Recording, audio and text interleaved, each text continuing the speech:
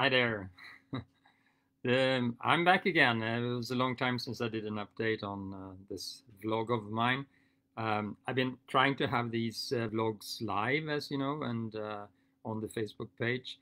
And uh, frankly, I haven't really gotten that many viewers when I've been doing this, so I've sort of lost steam a little bit. I'm thinking about it, however, to eventually start a podcast, but it'll probably take a while. But anyway, um, I have some good news, and um, I am sending out a newsletter today. So if you are not getting my newsletter, uh, you could uh, send me a message through uh, Messenger and with your email address, and then I will add you to the newsletter as well. But it will more or less contain what I'm about to talk about uh, on this live session. All right. So uh, the first good news is that COVID-19 cases in Peru are going down. So the like the daily new cases that we get in, in Peru is lower uh, than ever since the start, I would say. It's even lower than the lowest numbers in uh, in June, uh, late June, early July. And uh, so that's a very good tendency indeed. I also read an article that saying that they speculate that maybe as many as 50% of the population of Peru already have been infected, and so that we are getting very close to uh, herd uh, immunity, and uh, that will also mean that the curve will go down uh, very very quickly, uh, and, and, we should be able to see that. So even in spite of in spite of that um, that Peru has opened up now with international flights, I'll get back to that. It is still on a good trend. So that's very, very good. Hello, Tim Appleton. I, I see you you checked in here. Nice to see you. Um, we will uh, probably talk about the global birding thing uh, this week. I will sign up for that as well but I just haven't had time yet. So anyway, um, getting back to the things that I'm going to talk about about today. So uh, we have actually started with international flights, so, and that's, that's really great news. They started on the 5th of October. Uh, there are some limitations though. They wanted to start with flights that are less than four hours. So it's in the immediate area of uh, Peru so the countries you can fly to directly to Lima right now are Panama, Colombia, Ecuador, Bolivia, Chile, Uruguay, and Paraguay. There should be five countries. So Panama, Colombia, Ecuador, Chile, Bolivia, Paraguay, Uruguay. So yeah, so that that's really uh, great news, and we uh, hope well, I was hoping that maybe some of you guys that are listening in from the US or the UK that you may be able to hook up through these hubs and get to Peru that way. I realize that it may be uh, quite problematic because there is one thing that you have to have before you enter Peru, and that is a COVID 19 PCR test that is less than 72 hours um, old when you get on the plane that goes to Peru. So it means that it should be 72 hours before your flight from, say, Panama or whatever. And then the connections can be kind of tricky as well, but uh, there is a possibility. But so what I have done instead is that I am offering some uh, uh, very big, big discounts to people that live close by, actually living in these countries. So they will actually be able to join our Satipo Road program for only five days at 50% of the cost. And uh, if any one of you that are in the US or in the UK or in Europe or Canada for that matter, if you are able to hook up to any of these flights, it's for the next four weeks. So the fall next Monday, we will start with the first tour. Yeah. And uh, prior to that first one on next Monday, there's also a weekend in Chanchamayo, so you can make a little bit, you can make a little longer trip that way if you are able to come down, say on the Friday, um, 16th of October. Then you can make a longer trip and get a lot of birding done in just uh, in just a week.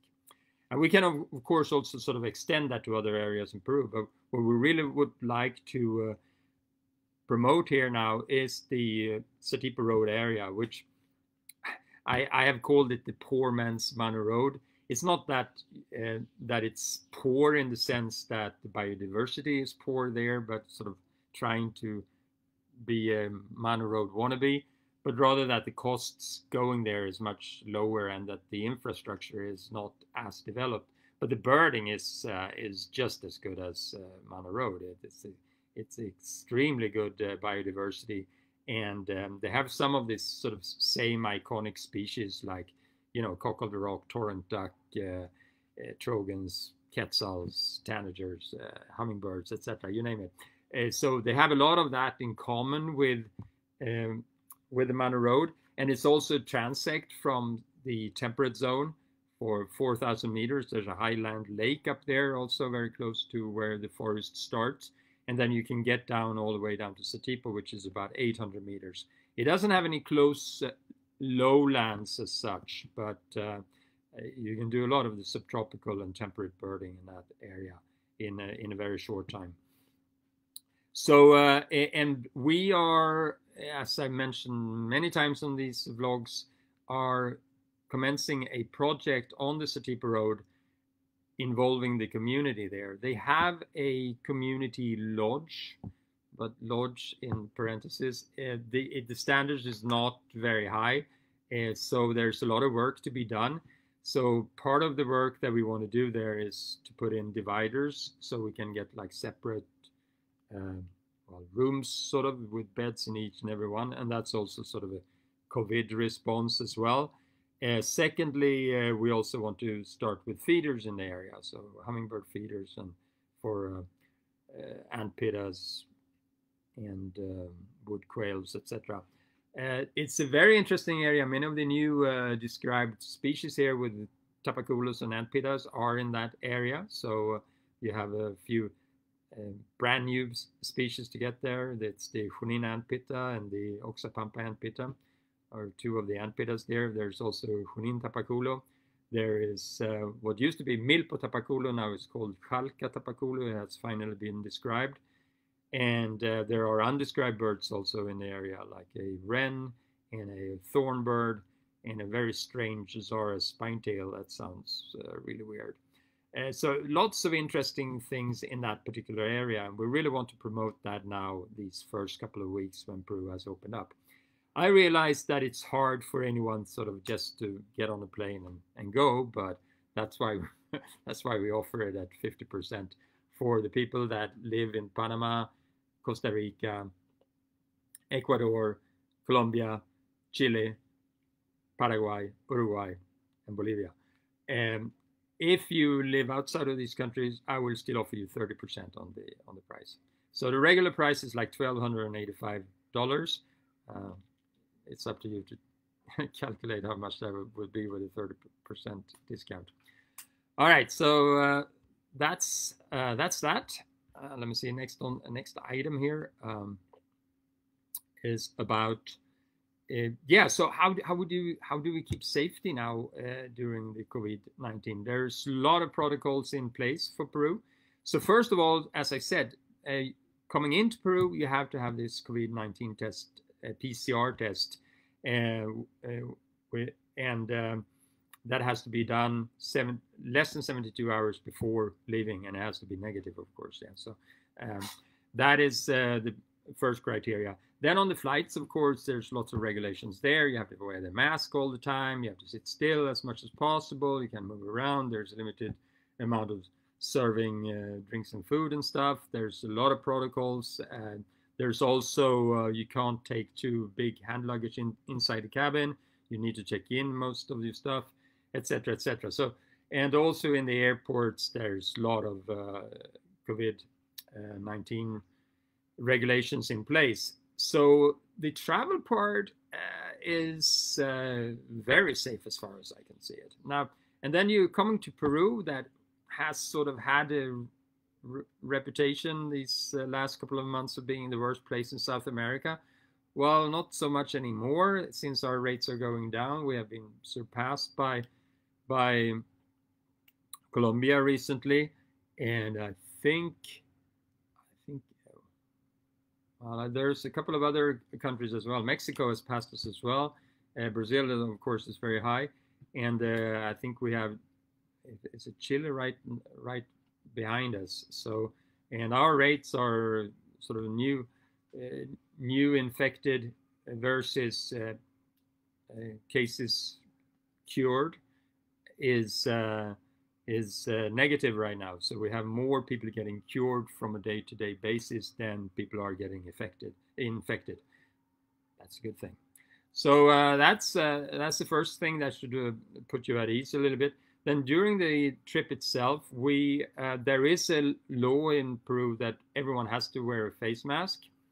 Uh, it's recommended also to wear screens, although that would be kind of hard when you're birding. So we will uh, treat the people inside the car as a unit, like a cell, but the guide and the uh, driver sitting in front will have facial shields as we drive along. Yeah, and uh, then the group per se also is sort of a cell, but it, even so, during all sort of public Eh, exposure that we have, you will have to wear a mask regardless, right? So uh, that is the uh, the thing that will be in place all the time. secondary, we will also do daily, twice, three times daily, disinfecting the area inside the van, the handles, etc. There will be plenty of gel, alcohol gel available uh, all food items, all the everything that is sort of touched by any of the staff will be thoroughly uh, disinfected during the day uh, at all times. So I feel uh, that yeah, I, I feel that you know birding. We're out in nature all day. Uh, we're not really exposing ourselves to high risks at all. We're taking all the precautions while we're on the road and the same thing, obviously, we will not pair up people in uh, sharing uh, double rooms together. So, but rather everyone will have sort of uh, single rooms. Uh, what we will do though in uh, the first week that we're running City Road is that we will have some tents with us. So uh, because there are no rooms in um, separations yet at uh, Satipo Road Lodge, we hope to be able to do that as far as fast as possible.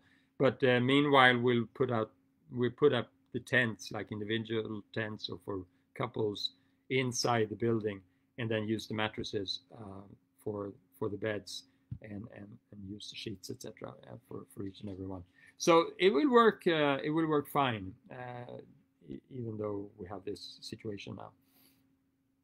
All right, so that's uh, that's about that. Uh, if you remember, also I've been talking about condors quite a bit, and uh, we have uh, entered a contest that the uh, Mincetur, which is the Peruvian Ministry of Tourism, has announced uh, a couple of months ago.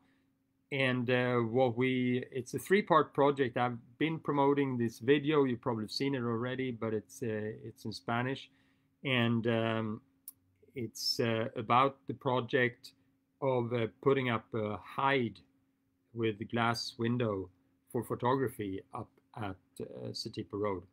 And uh, at the same play, uh, at the same time, we're working with the community there to promote bird watching in general and condor watching. So they have some additional places also where uh, one can see condors really up close. So the last couple of weeks, actually, the last couple of weekends, we have been arranging for Peruvians who have never been bird watching before uh, trips up to uh, these mountains, a hike of 1.5 kilometers and we see uh, condors up close. Uh, it's incredible. Uh, it's not super great for sort of high class photography because we have the light in our eyes when we are watching the condors, and it's really sort of low above the horizon and and many times just exactly where we're putting our cameras. So uh, that is not so great. So the hides that we are uh, putting up are uh, we will put up a feeding station for condors, very much like the vulture stations that are in southern Europe all over the place nowadays, right? So we're working with a, uh, a, a, Spanish guy, uh, Carles uh, Santana from uh, Catalonia, and uh, he has a, a company called Photo Logistics, and so he, he will help us out with these hides.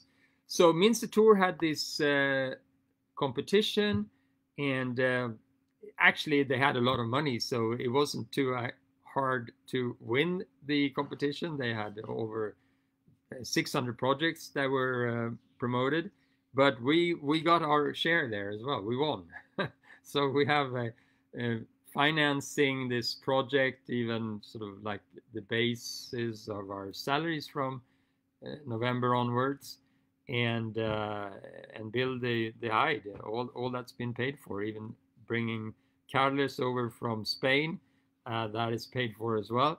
So uh, yeah, we're really happy about that, and it it aligns really well also with the Satipo Road project because we can do that on the way in in and out, of course. Yeah, so it'll be like a new photographic route here in in Peru, in central Peru, that is uh, not promoted at all from from Peru. Uh, we're a little bit disappointed about that. Nobody's promoting the central, which is actually the easiest and the cheapest place to go bird watching from Lima. Right, you fly into Lima you don't need to take any internal flights at all.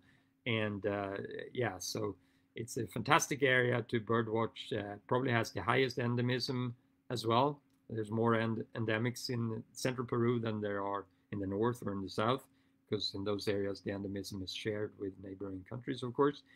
Uh, so uh, yeah, lots of good species in the area. And that leads me into the next item on the list here now, our confirmed tours. So we have a couple of tours in uh, November, December, and January. Uh, so I will go through those that are, and, and, they are confirmed. Yeah. So hopefully by then we also have a few more uh, possibilities of flying uh, to Peru. But if not, if you're interested in the first one, which will be like a complete Central Peru trip, I know that BirdQuest had a Central Peru trip that is pretty much based on the ideas that I presented to BirdQuest a couple of years ago. They are were not to operate that through us anymore, but uh, nevertheless, it's sort of our program, and uh, they uh, canceled, of course, because I was scheduled for October. But now in November, it's actually possible to go, and uh, so that trip will start on the 16th of uh, November, and uh, you could fly in and do a little bit of birding in Lima before, of course, if you like, and um, a few days earlier. And uh, so try to to go through these um, airports that I already mentioned.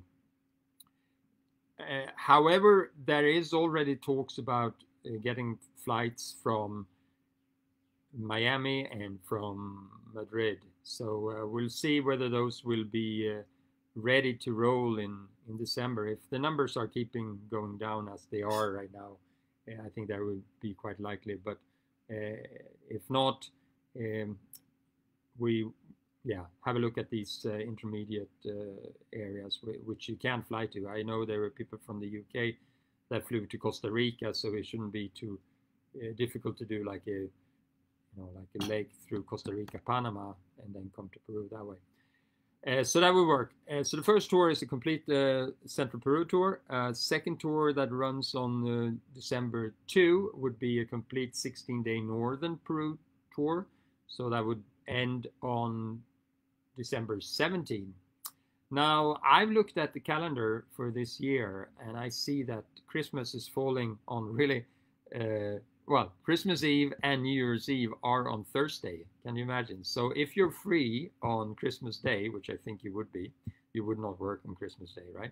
And you would not work Saturday and Sundays, and you would not work on uh, on uh, New Year's Eve and New Year's Day.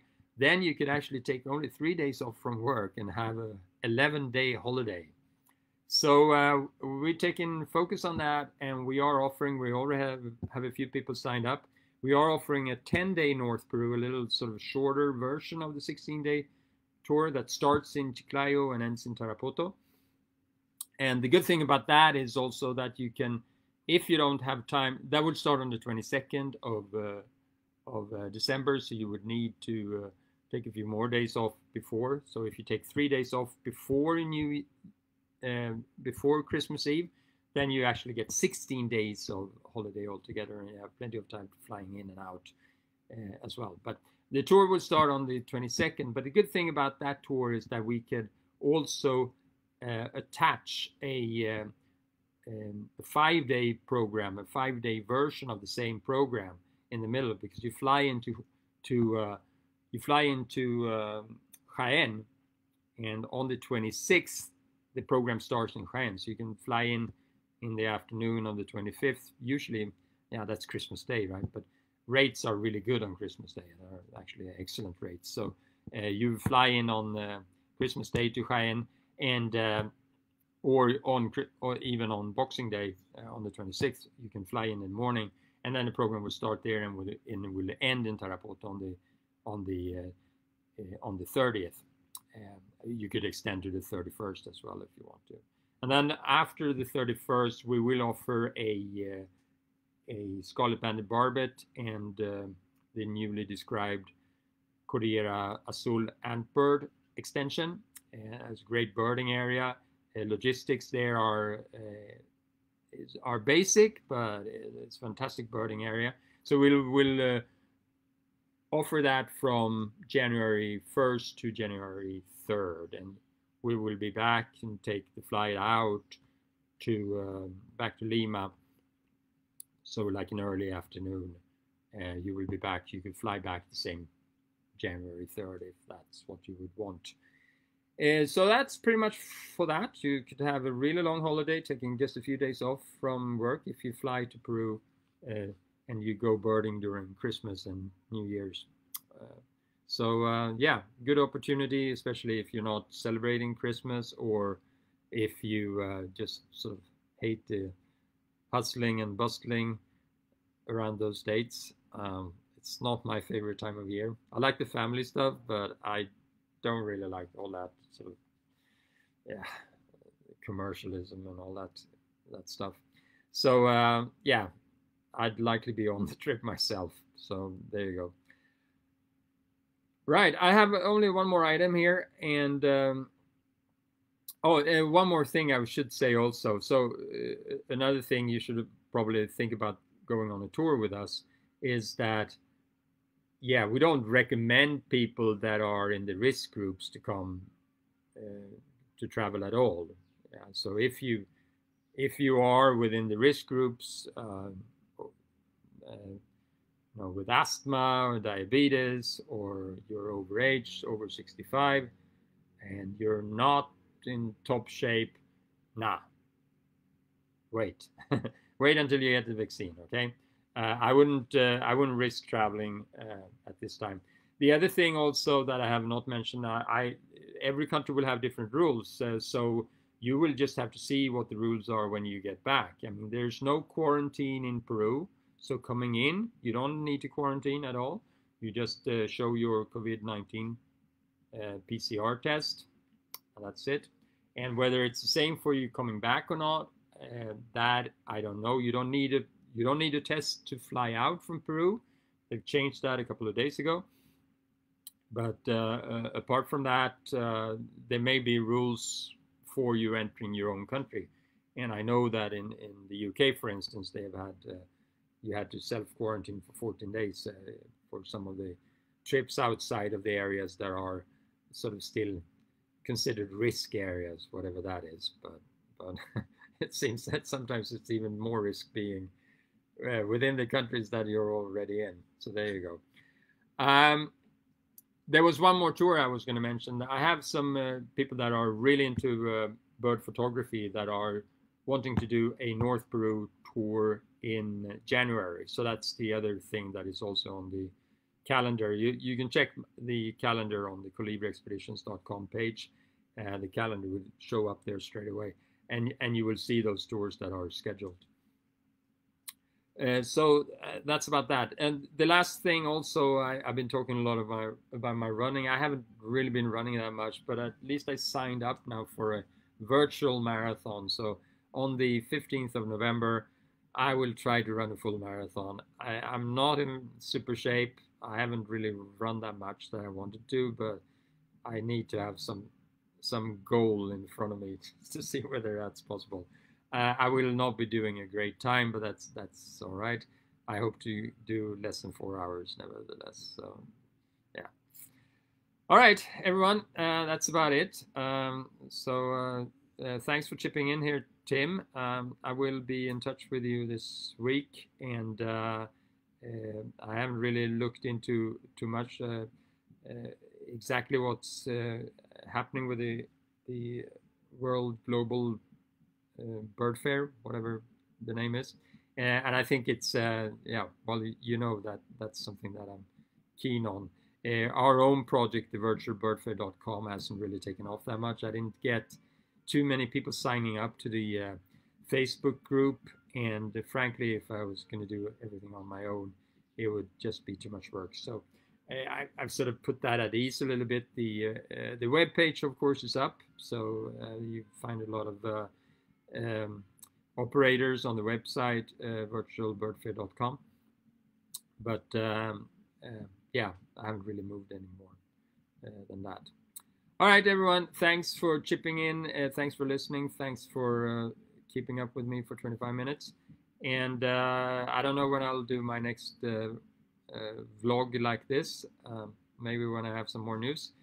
But hopefully, I will see you soon enough here in Peru on one of our tours. And uh, do take advantage of these uh, extremely good offers now that are coming up this next month if you have the possibility to fly and just take a couple of you only need to take five days off from work actually. So to you fly in one week and fly out the next.